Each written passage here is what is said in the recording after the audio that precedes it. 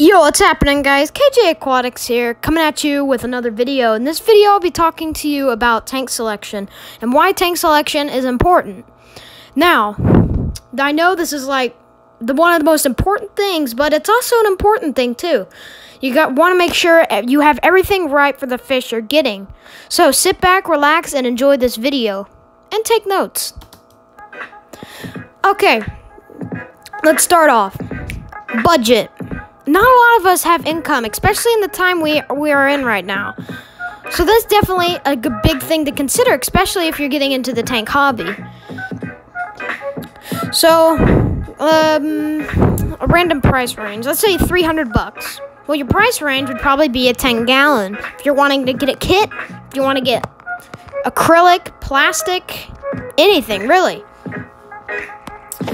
So, what else? We have um, we have your uh, we have your bowls, and those bowls you want to you you can you want to it's really complicated the bowl. Like in the cartoons you got the common common bowl with the goldfish.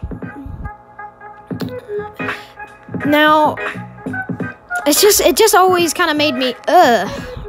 So definitely don't get a bowl because there's no swim room no room for oxygen no room for a filter. Also you don't want to get a crate with so-called tanks. So that's that. Now you gotta consider the fish you want to put in there. Now, um, what type of fish do you want? Danios, plecos, that all will raise your price because each fish will need a certain type of tank, you know? They would all need like a, uh, pretty much a,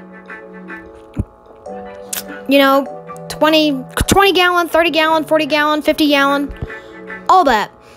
So I just want you to consider that, and I'll make a part two. Just sit back and re- and listen to this music.